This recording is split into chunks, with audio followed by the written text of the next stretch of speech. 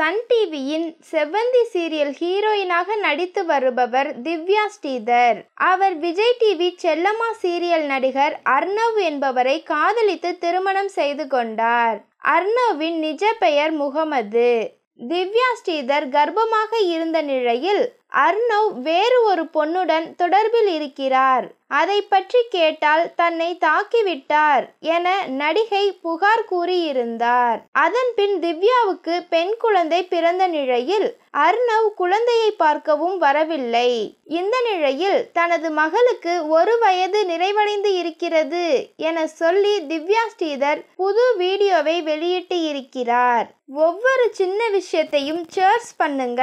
அவர்கள் வேகமாக வேகமாக வளர்ந்து விடுகிறார்கள் என திவ்யா உருக்கமாக பதிவிட்டு இருக்கிறார்.